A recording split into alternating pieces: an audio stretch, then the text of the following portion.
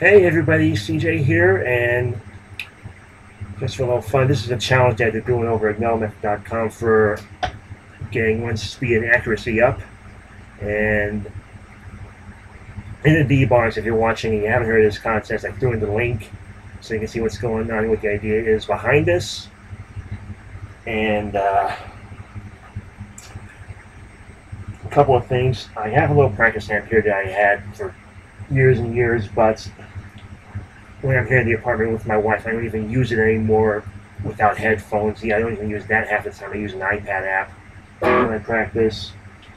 And when I use a metronome, which you're going to hear in the background here for this because they expect you to do 60 beats per minute, you're going to hear a totally different metronome sound that I usually use. I don't like the digital click, but uh, for the uh, purposes of this video, that's what's cutting through because that's going through the amp as well.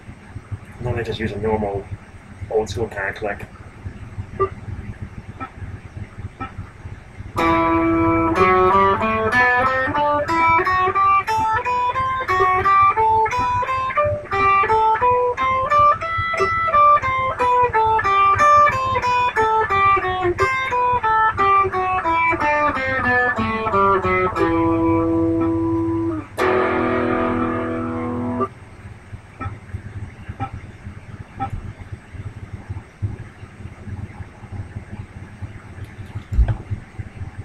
All right.